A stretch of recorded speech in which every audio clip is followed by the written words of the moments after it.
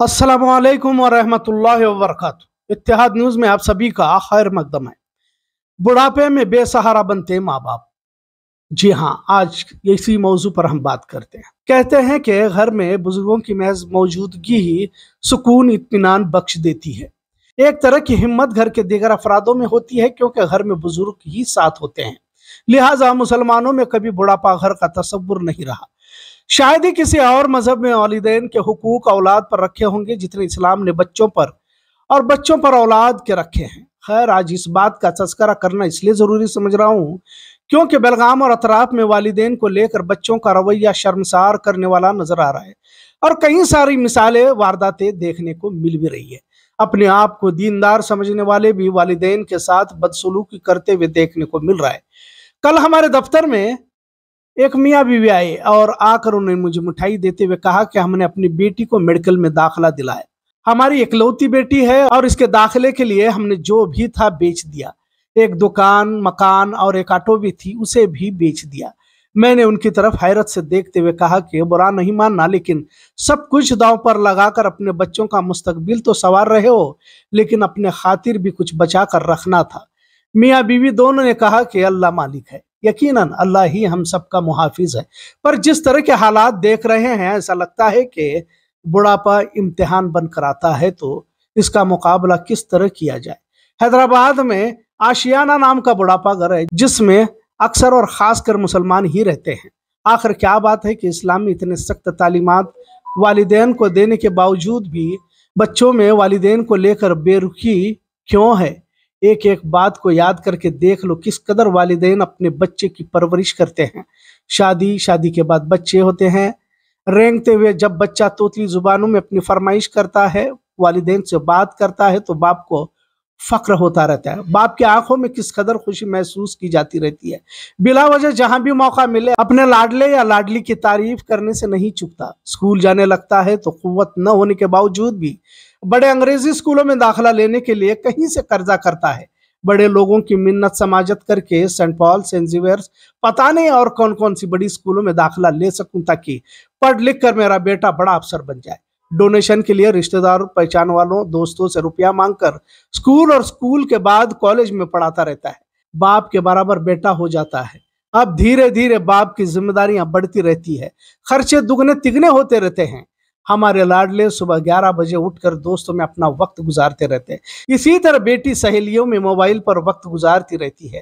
کچھ نوجوان کسی بڑی کمپنی میں دبئی، بحرین، کینیڈا میں جاب کرنے کے لیے چلے جاتے ہیں۔ شادی بھی ہو جاتی ہے۔ اب بچے ماں باپ سے دور یا اختیار کرنے لگتے ہیں۔ اپنا سب کو داؤں پر لگا کر بچوں کی زندگیاں تو بن جاتی ہیں، لیکن شادی کے بعد بیٹی اپنے مائکے تو بیٹا اپنی بیوی کا ہو کر رہ جاتا ہے۔ اور تقریباً گھروں کی یہی کہانی ہوتی ہے، ایک زندگی کہاں کہاں سے گزر کر کس موڑ پر آ کر رک جاتی ہے۔ تیز رفتار زندگی اب سلو موشن میں گزرنے لگتی ہے۔ گھروں میں بڑھاپے کی کگار پر پہنچا باپ، بیٹا بہو کے درمیان رکاوٹ محسوس ہوتا رہتا ہے۔ والدین کے خوبصورت چہرے اب جھریوں میں تبدیل ہو جاتے ہیں۔ پاؤں لڑکھڑانے لگتے ہیں۔ آزان سے پہلے ہی مسجد کے طرف پاؤں اپنے آپ نکل پڑتے ہیں۔ امیر ہو، درمیانی کلاس کی فیملی ہو یا پھر غریب طبقہ، کوئی بھی اس مرد سے نہیں بچ سکا ہے۔ دینداری کہنے کے لیے ہے۔ ہم نے ایسے بچوں کو دیکھا جو اپنے بوڑھے باپ کو چورلا کے گھاٹ میں چھوڑ کر لوٹے ہیں تاکہ وہیں مر جائے۔ بس سٹینڈ اسپتالوں میں بچے اپنے بوڑھے والدین کو چھوڑ کر چلے جاتے ہیں۔ بڑھاپے کے آخری پڑاؤ میں پہنچا باپ نہ بول سکتا ہے اور نہ کچھ اپنی پہچان بتا سکتا ہے۔ پھر لوگ ان بوڑھوں کو پولیس تھانے کے ذریعے کسی بڑھاپا گھر میں پہنچاتے ہیں۔ تمام کہانی کے پیچھے سوال تو ایک ہی ہے کہ کیا واقعی اب سماج میں بوڑھے والدین کی قدر نہیں رہی؟ کیا زندگی اتنی تیز ہو گئی کہ احساس، جذبات سب مر چکے ہیں؟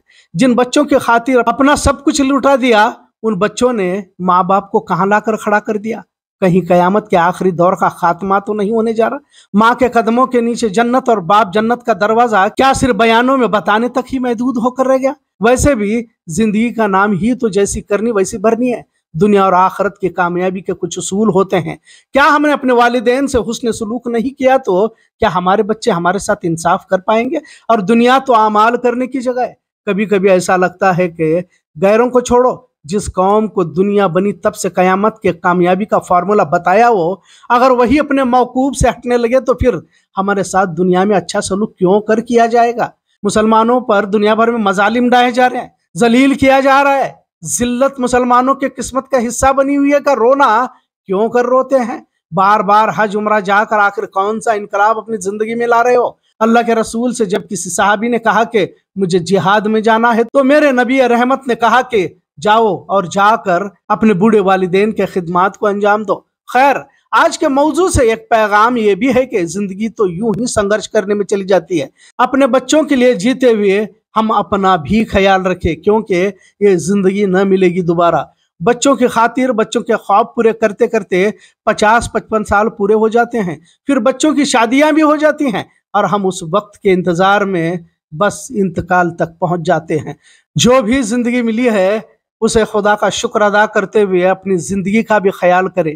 پہلے کہیں تو کسی کے بارے میں ایک آدھ واقعہ سنتے تھے، پر اب اکثر گھروں میں والدین کو لے کر شکایتیں دیکھی جاتی ہے بچے الٹا والدین کو ہی ذمہ دار ٹھہراتے ہوئے ضد کرتے ہیں۔ بچوں کا سنتے ہی نہیں۔ کیا واقعی اب والدین کو بچوں کے حکم کی تعمیل کرنے کی نوبت آئی ہے؟ محض دین کو رسمی طور پر نبھانے سے کامیاب زندگی نہیں گزار سکتے۔ بڑھاپا زندگی کا وہ مرحلہ ہے جہاں سبھی کو آ کر امتحان دینا پڑتا ہے۔ ضرورت ہے سماج میں والدین کو لے کر جو نفرت بچوں میں پائی جا رہی ہے، اس پر سنجیدگی سے غور کرے۔ مسلم سماج کئی چنوتیوں سے گزر رہا ہے۔ کیا پتا کہ کتنے والدین کی آنکھوں سے گرنے والے آنسو اس سماج کی تباہی کی وجہ بن رہے کیونکہ زمین کے فیصلے آسمان پر ہوا کرتے ہیں، اتنا ضرور۔ آج کا موضوع کیسا لگا اس پر ضرور کمنٹ کریں۔ اتحاد نیو دیکھنے کے لیے شکریہ۔ اللہ حافظ۔